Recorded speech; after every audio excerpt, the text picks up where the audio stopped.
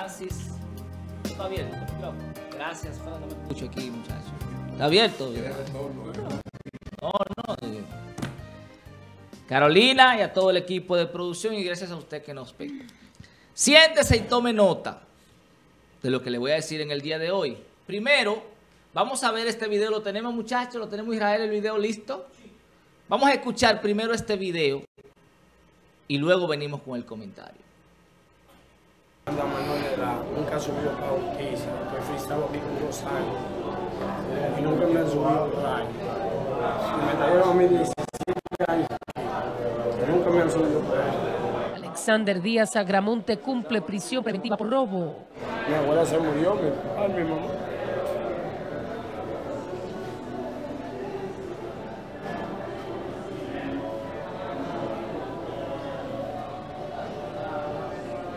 Que Dios quiera, yo estoy aquí. ¿Tú piensas que tú aquí vas a morir? ¿Cuál es? ¿Qué tú esperas? No tengo a nadie que me haga la diligencia. Tengo que esperar que ellos decidan, los jueces. Cuando tú preguntas, ¿qué te dicen? Nada, que tengo que tener. Eso no es de ahora, señores. Eso yo lo publiqué en mis redes sociales en el año 2014. Cuente para atrás, ¿cuántos? ¿Siete años? Siete años. Yo ni siquiera pensaba estudiar Derecho en ese momento cuando yo publiqué eso.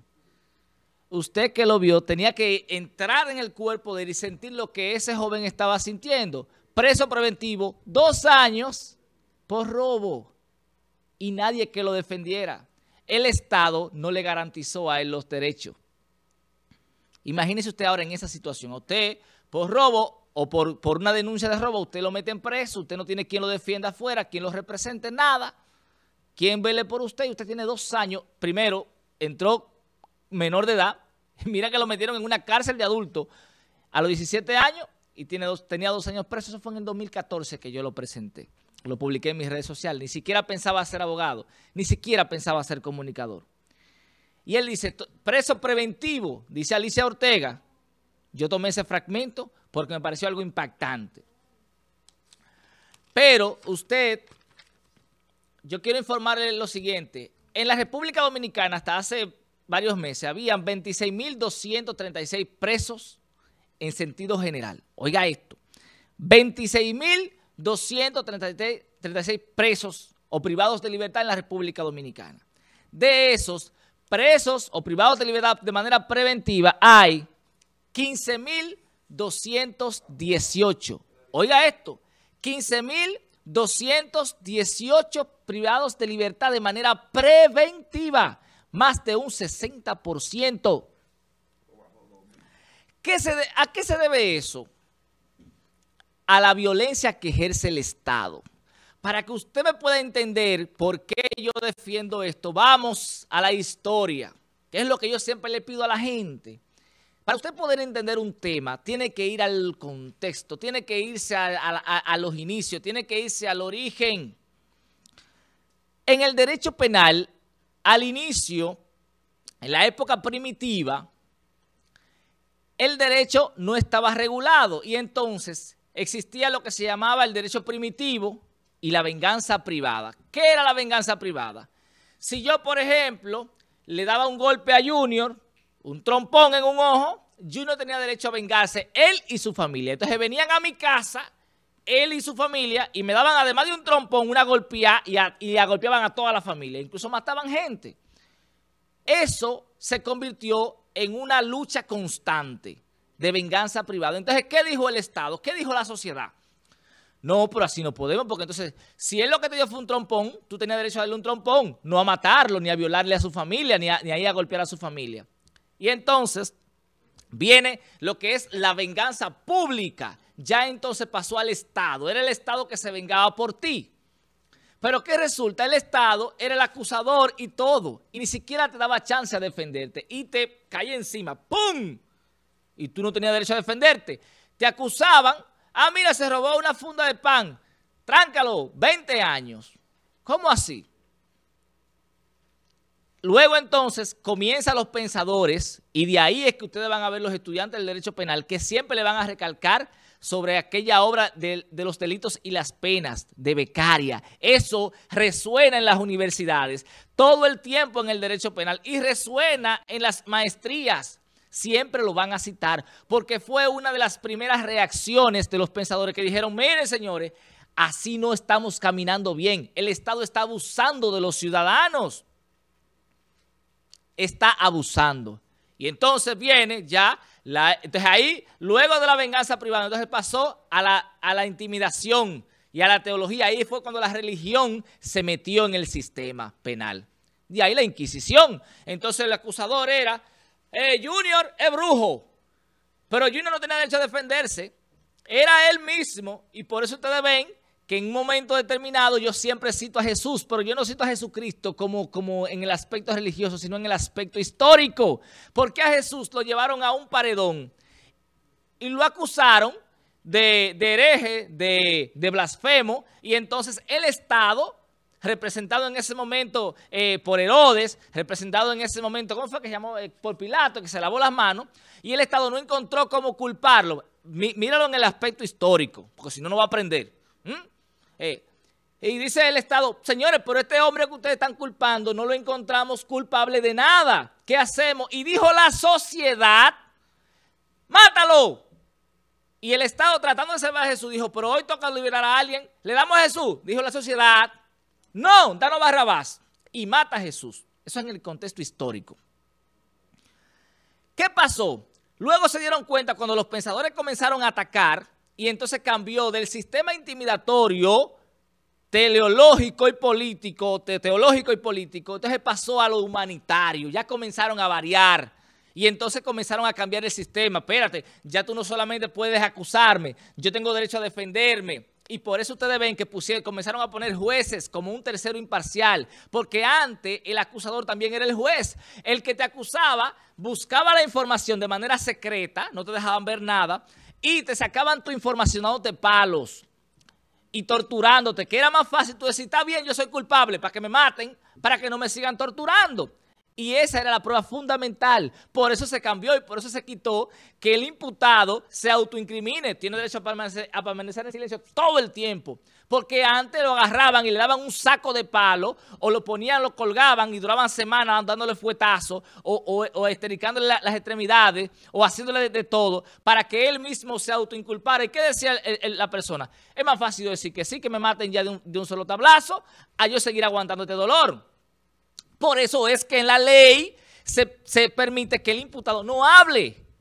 Eso es un derecho fundamental que está establecido, a no incriminarse. De ahí el contexto, porque antes lo usaban en su propia contra, pero era fuerza de palo, a fuerza de tortura. Y por eso se cambió, para que entiendan el contexto.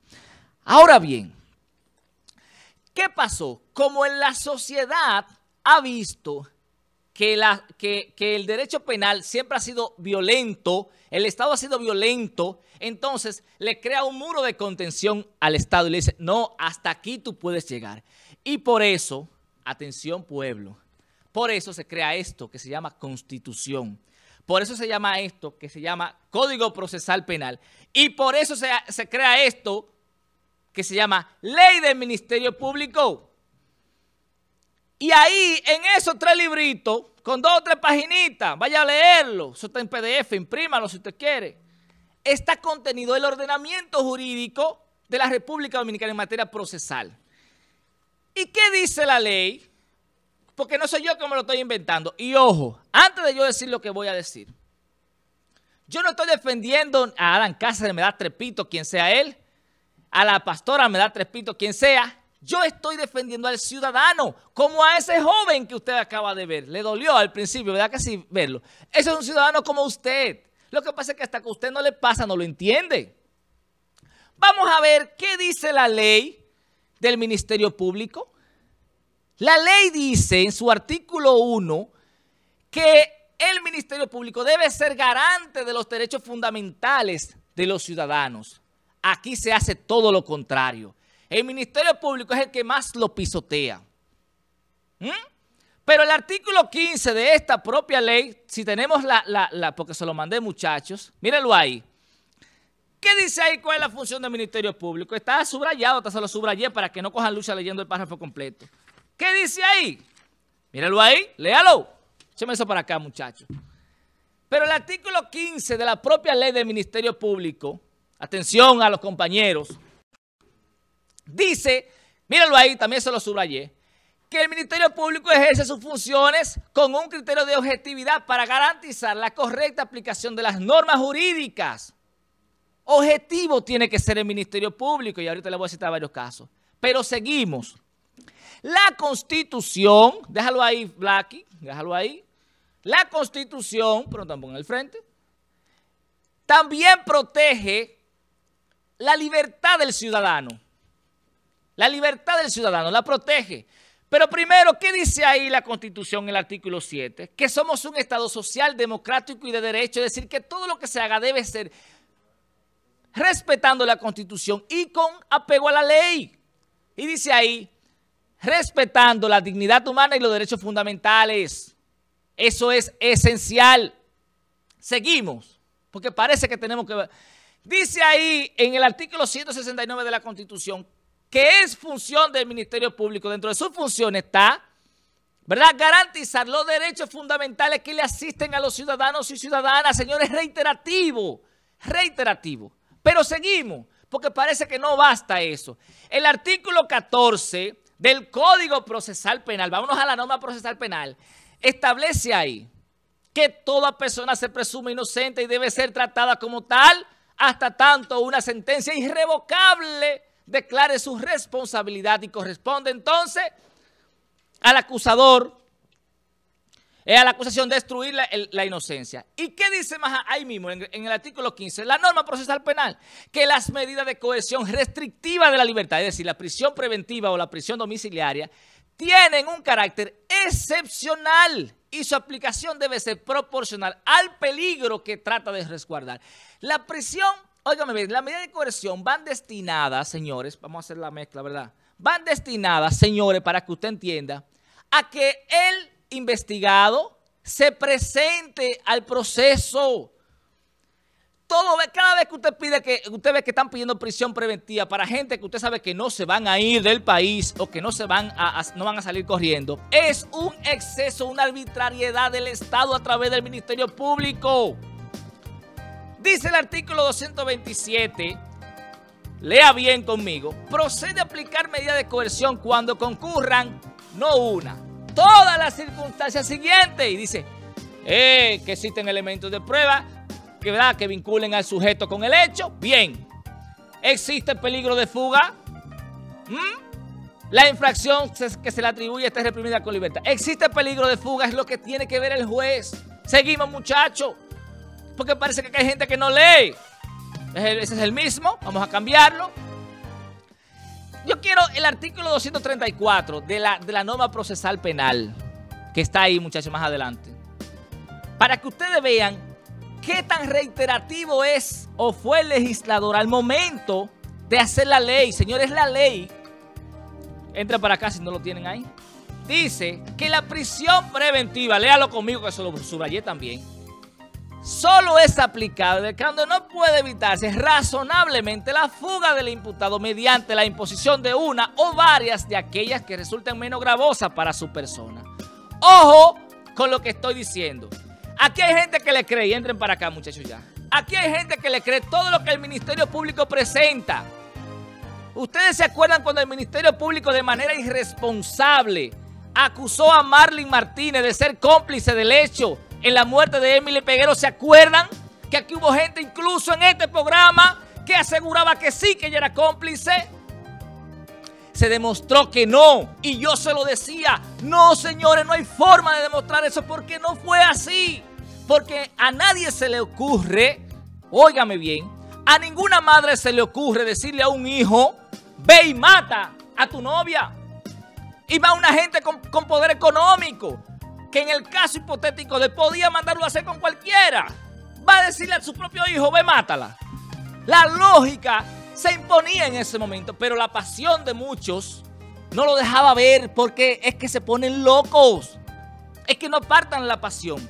¿Y qué pasó? Terminaron pasando la vergüenza ahí que no pudieron demostrar lo que todo el tiempo sabían que no lo podían hacer. Eso era arbitrariedad y por eso quedaron mal. Le crearon una expectativa a la sociedad falsa. Le estaban mintiendo a la sociedad. El Ministerio Público de aquí. Y usted lo vio. Y usted se sintió mal. ¿Sabe por qué? Porque a usted lo engañaron. No era verdad. No era verdad que habían elementos para poder vincular a Marley Martínez con la complicidad del hecho de lo que había sucedido. Y no lo pudieron hacer. Y se demostró en justicia que no. Pero a la sociedad le hicieron creer que sí. Y eso es lo que tenemos que romper. Esos paradigmas hay que romperlo en la República Dominicana.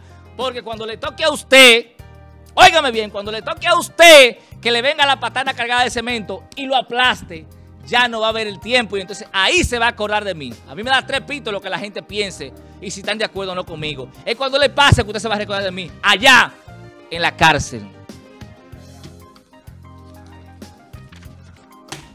Propuesta de Yarjan de que los jueces varíen el criterio que presenta el Ministerio Público recurrentemente, diariamente, en los casos específicos de robo, de crímenes y sobre todo de delitos de corrupción.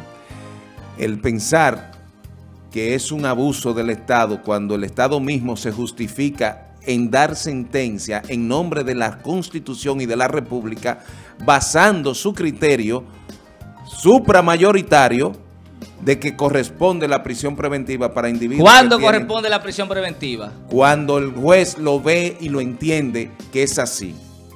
Vamos ah, cuando el juez lo entiende. Él es el soberano. No son las circunstancias. Vamos. no es la ley la que lo establece cuándo debe ser. Pero son destruidas por el Ministerio Público y, los abogados.